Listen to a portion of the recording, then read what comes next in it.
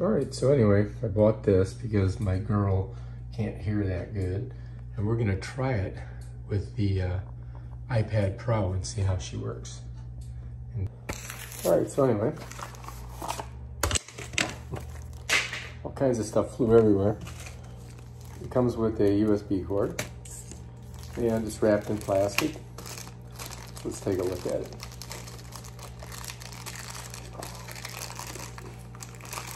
There we go. It's not very big. I thought it would be bigger. So this is it here. There's the speakers. This is, I guess, for venting. Let me turn it here. Minus, play, plus. This side doesn't have anything. It has the power on here. So all we've got to do is get this thing recognized by the Bluetooth on the iPad. So that's what we're going to do next. The name of this is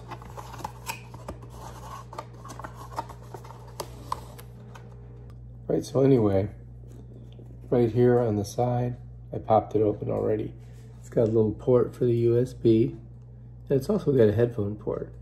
And when you push this back on there, kind of makes it waterproof. But it is a little difficult to get open, as you can see. So anyway, we're gonna plug it in, charge it. It doesn't come with a block, so you're gonna need a block. Um, it does come with a USB port, and I think that is a USB-C.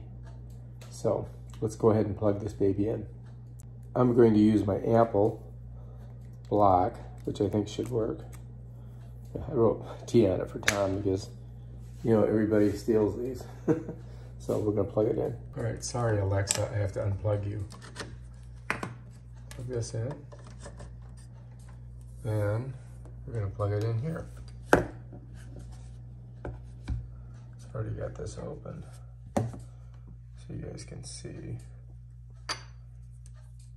And the USB-Cs a little bit easier to plug in. They don't have, you know, like a side.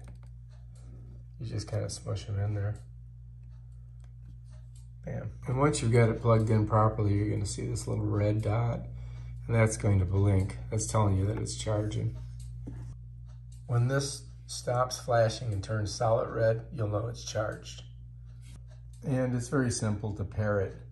You just go to your device, if you're doing it with an iPhone, iPad, you're gonna go to settings, you're gonna go to Bluetooth, you're gonna check Bluetooth is on, and then you're just gonna select OontZ Angle 3 DS XXX when it appears, and the device will connect. And then the blue light will turn solid blue, and there will be a quiet chime, and now you'll be playing your audio wirelessly through this speaker. So let's take a look. Got a solid red. Bam, get in here. Slide her up. And put in my code. Bam, there we are. We got to go to settings. Later. Oh, Jesus. Again, bam, go to settings. Then we're going to go to Bluetooth. And now it should show up on here. Oh, there it is. Look, we're in. Okay, good. So we're going to go ahead and click on that. And bam, we're connected. So that should do it right there. We should be ro rocking and rolling. Now, let's go. Let's pop that out of there. And uh, let's go to YouTube. All right, so anyway, we've got the red dot. That means cool. So now all we've got to do is turn it on. And to turn it on, you've got to press this right here. So I'm going to go ahead and press that. And then it should give me that blue light. Okay, now let's double, let's go to settings. And let's go to Bluetooth. And there it is. And we're connected.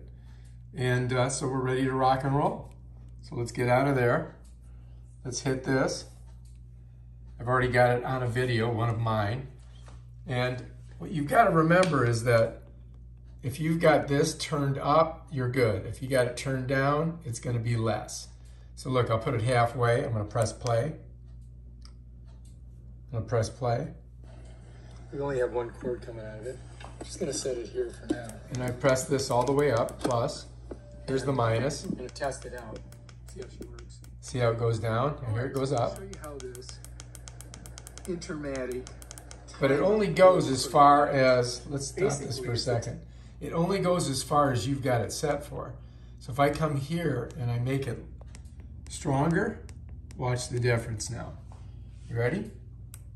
timer and you plug it in to you know your outlet and then And if you notice, when I hit this on and off, it turns this off and on, which is cool. So you don't have to get up and move over to your thing. You know, let's say this is 10 feet away from the iPad. You don't have to run over there to press the button. You can plug in all of Bam, done. So I think that sounds pretty good. Let's go ahead and just press it.